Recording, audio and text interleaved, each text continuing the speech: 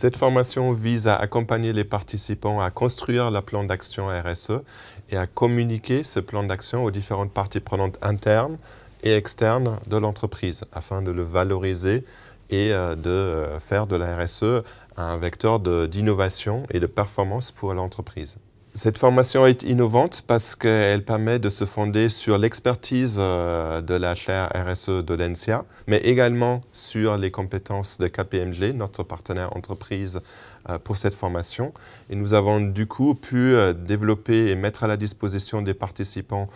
à la fois ces expertises, mais aussi les accompagner dans le cadre d'un tutorat pour permettre à chacun d'appliquer ces compétences directement à leur organisation, leur entreprise, leur école, leur association. Ce qui est innovant dans cette formation, c'est justement de s'adresser euh, à des professionnels du monde de l'entreprise et euh, de faire intervenir également des professionnels, parce que ce qui est très important aussi dans le développement durable, c'est la création d'un réseau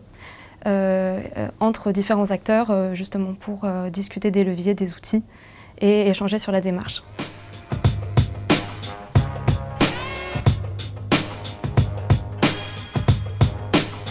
J'ai choisi de suivre la formation RSE parce que je souhaitais acquérir des outils et maîtriser une démarche qui soit directement opérationnelle à court terme. Les intervenants euh, sont également de très grande qualité avec des interventions qui sont ponctuées d'exemples concrets, pratiques, pour tout type d'entreprise, quel que soit le secteur d'activité, quelle que soit la taille de l'entreprise. C'est vraiment un cursus que je recommande à toute personne qui serait désireuse de mettre en place une démarche RSE et d'avoir les outils efficaces, pratiques et directement opérationnels à court terme.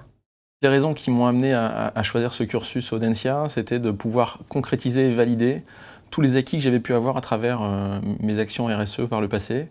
et avoir une sorte de légitimité par l'obtention d'un diplôme derrière ce fameux certificat. Le bénéfice de ces formations est de pouvoir arriver à se structurer, à avoir toutes les pièces du puzzle euh, et avoir un peu de recul, voire beaucoup de recul, sur la démarche complète de euh, euh, ce rapport RSE et de pouvoir reconstituer le puzzle global.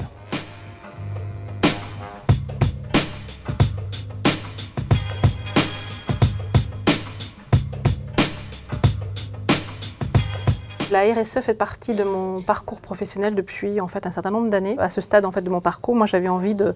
consolider un peu en fait toutes ces connaissances et tous ces acquis. Le certificat euh, me paraissait le bon, le bon endroit en fait pour le faire. Ce que j'ai trouvé intéressant, c'est notamment de pouvoir mesurer, euh, mieux appréhender en fait le rôle des parties prenantes